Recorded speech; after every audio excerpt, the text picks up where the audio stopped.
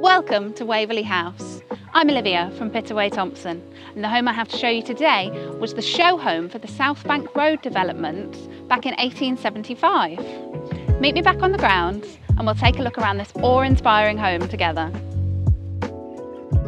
This fantastic property has been a cherished family home to just one family for an incredible 62 years.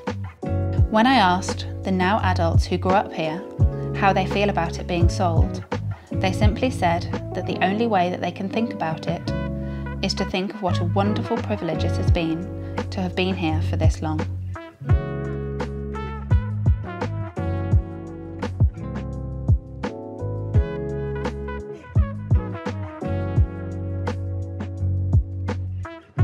Each of the children has called each of the five large double bedrooms their own at one time or another.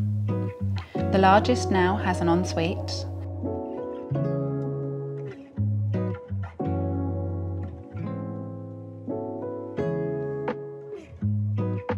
And there is a family bathroom on both the first and second floors.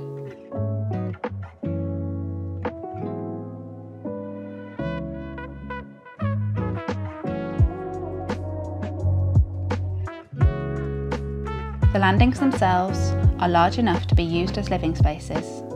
The middle floor with beautiful view over the garden and the top floor giving access to that wonderful roof terrace that we started on. The ground floor has set the scene for many family gatherings over the years.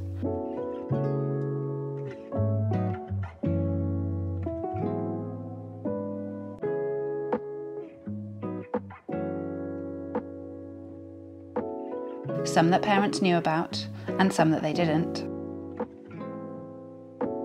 But with all of this space, it didn't ever feel crowded.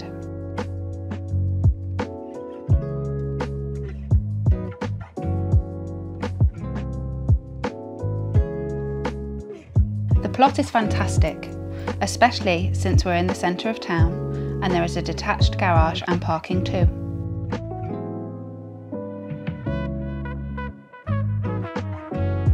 The garden has been the setting for many an adventure over the years, not least when an old cherry tree fell down so it was used to build a fort.